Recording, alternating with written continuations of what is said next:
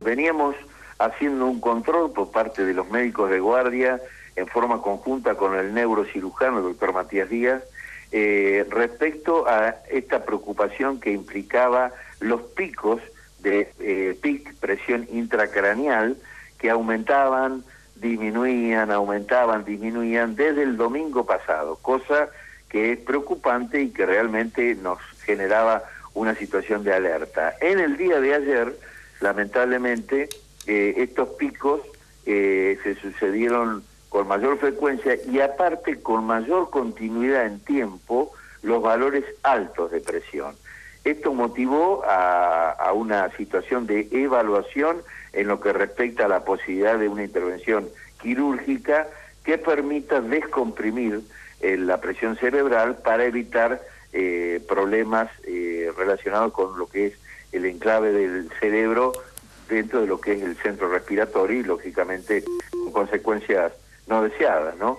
Bueno, lo concreto es que eh, ayer, eh, manteniéndose la presión durante mucho tiempo permanentemente alta, eh, alrededor de las 20, 20, 30, ingresa en quirófano y bueno, se logra descomprimir eh, la presión esta intracraniana, llevándola de un valor de 30, 40, 50 a un valor de 5, 6, 7, eh, un poco eh, para que se entienda, este, implica el drenaje de eh, la sangre a través del hematoma cerebral y del líquido del edema,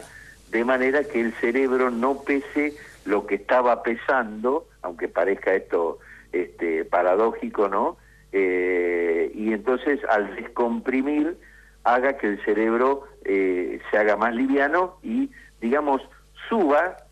evitando el toque del eh, centro respiratorio. Francisco está eh, hemodinámicamente y clínicamente eh, en las mismas condiciones que previas al, a la intervención quirúrgica, es decir, con respirador asistida, en coma farmacológico y por supuesto con la imposibilidad hoy de poder hacer evaluaciones neurológicas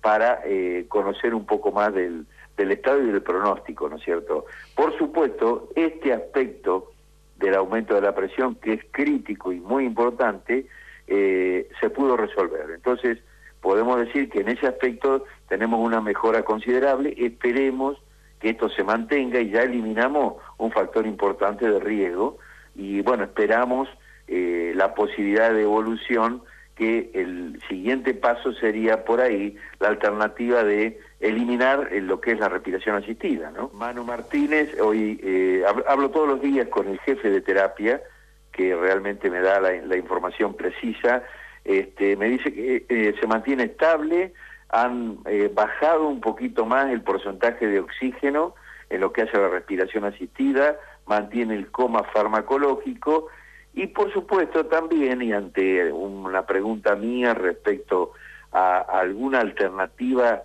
que permita pensar en una evolución desde el punto de vista neurológica, esto es, eh, alguna respuesta ante eh, la voz de algún familiar, ¿no es cierto?, eh, alguna respuesta relacionada con el tema de apretar la mano y demás, me dijo absolutamente que no, y lógicamente al estar en coma farmacológico inducido, no hay respuesta eh, volitiva, es decir, no hay respuesta voluntaria porque el cerebro no funciona. Lo que puede haber, en un caso como por ejemplo el otro día que hubo un intento de abrir los ojitos, es eh, una cuestión refleja pero no volitiva. Es decir, estamos un poco en el mismo cuadro, se evaluará eh, seguramente la semana que viene o la otra, en el momento en que se pueda, en que esté libre de, de, inotrópicos que generan todo este cuadro de coma farmacológico, eh, como para ver el pronóstico, ¿no es cierto?,